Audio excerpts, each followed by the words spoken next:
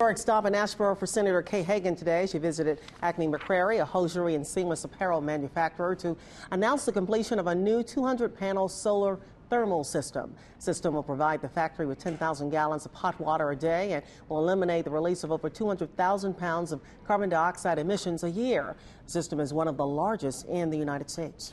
It really cements our state's place as in a leader in the emerging clean energy sector that is expected to grow by $2 trillion in the next decade. Developing American made clean energy sources is going to allow us to compete for a piece of that $2 trillion pie.